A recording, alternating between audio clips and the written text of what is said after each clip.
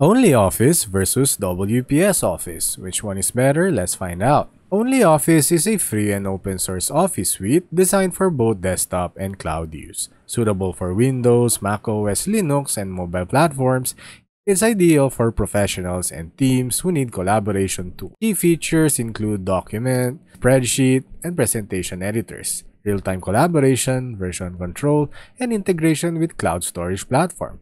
Strengths include strong compatibility with Microsoft Office formats and excellent collaboration tools.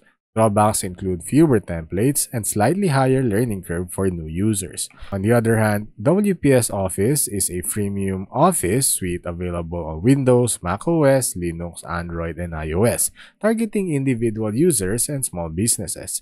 Features include a word processor, spreadsheet, presentation tool, PDF editor, and cloud syncing.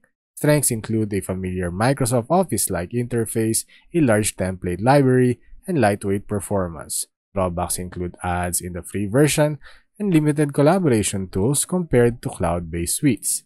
Now, let's compare them side by side. The key difference is collaboration versus convenience. Only Office shines for team needing real-time collaboration and cloud integration, whereas WPS Office focuses on offline productivity, ease of use, and lightweight performance.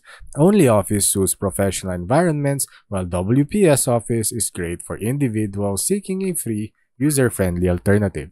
If you found this video helpful, make sure to hit that like button and subscribe for more videos like this. As always, thank you for watching. Until next time.